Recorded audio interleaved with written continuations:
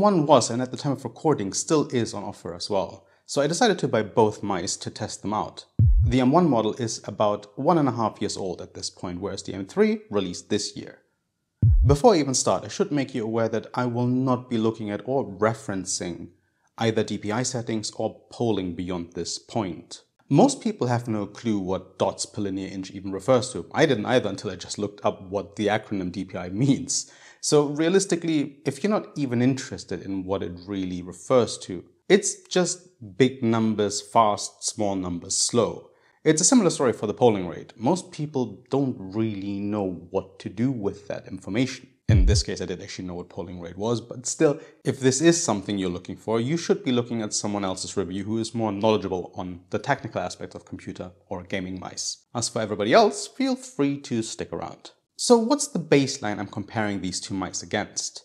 I was using a Logitech G502 Lightspeed and there's technically nothing wrong with this mouse. It works great. I do however dislike three things about it. The first one is the thumb rest. This might be great for people that have their wrist touching the table while they operate their mouse. But I grab the mouse from the top, so this groove doesn't feel all that great in that location. I also keep hitting my keyboard with it as it extends outward.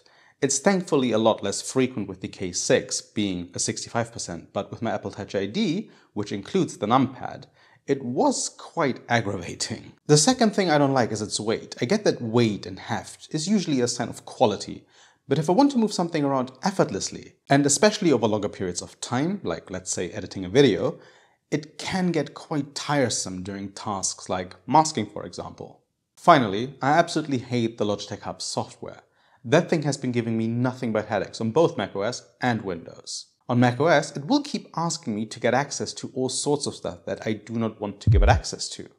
Whereas with other apps, you say no and that's the end of it, the Logitech Hub app will keep asking every time it's opened up. There is an argument to be made for people who use a single computer to simply stop accessing the app then. The configuration is set, so why not just leave it closed? I use a KVM with my Mac, my gaming PC and my work laptop, so I have to keep switching mouse profiles, which means I have to keep accessing the app.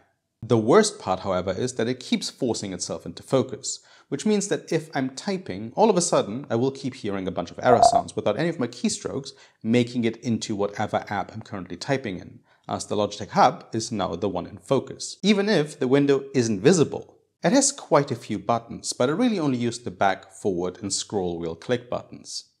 Everything else from the scroll wheel left and right tilt, the little cutout buttons to the left of the left mouse click, as well as the big one for your thumb on the thumb rest, I never use them. That's enough about the piece I'll be using as a benchmark though. First up, this thing is dirt cheap, even more so when it's on offer.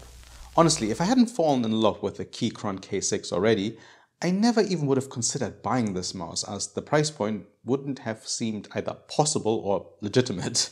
I'm also not the biggest fan of tethered mice as there is so much stuff on my desk already, usually I clean it up for this video, that I tend to avoid having to route even more cables than there already are. I also don't play games where latency via Bluetooth would really affect my performance with a wireless mouse anyway. In fact, I have never really played any games that have required a mouse so far. This month's Resident Evil 4 remake is actually going to be my first attempt at playing a game with a mouse.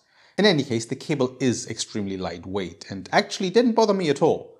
Obviously, it is also advertised as a wired mouse, so once again, I knew this going in and wouldn't dock any points for this.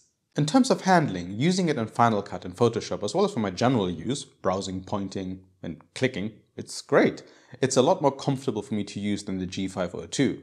The Keychron M1 mouse is both symmetrical and ridiculously lightweight with its 68 grams, which means it's a lot easier to operate for me as well. You can move the M1 quite easily, in fact, with about the same or even less force than it takes to blow out a candle. The overall feel here is positive all around in my opinion. The cable didn't get in the way and the clicks sound and feel satisfying to me as well.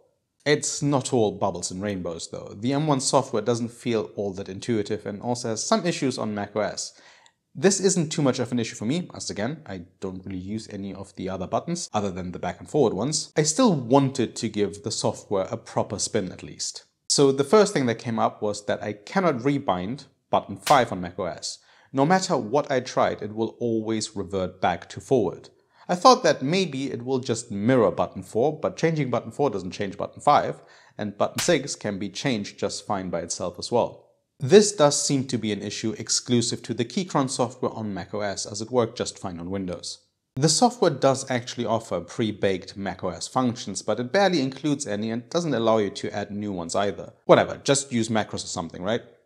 Setting up macros seemed obtuse to me as well, something that was actually super simple to set up within the Logitech Hub app. The lighting options are also a little lackluster and it seems impossible to make changes to the light on the scroll wheel itself specifically. It will change in some cases, but if you want the whole thing to just glow or pulse in, let's say, a blue color, it doesn't seem to be possible to have the scroll wheel to go and play along. At least the software itself hasn't given me any issues like forcing itself into focus. That rebinding doesn't work properly isn't much of a problem in my case because, again, I know I sound like a broken record at this point, I don't really use those other buttons anyway. If you are on macOS and require all of the buttons, however, there is a chance that it might not work the way you want it to. But again, on Windows, the software worked just fine for me. If you take a look at the page for the M3 wireless mouse, you will no doubt have seen that there is currently no functionality for customization on macOS available.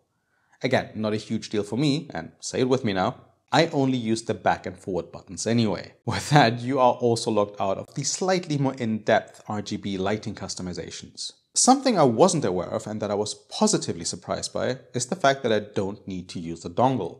I will because, again, KVM, but having an actual Bluetooth option means I can just take the mouse with me without worrying about a receiver. It doesn't stop there though. It comes with two receivers, one USB-A and one USB-C, which means technically speaking, I could use the USB-A one for the KVM and the USB-C one for my laptops.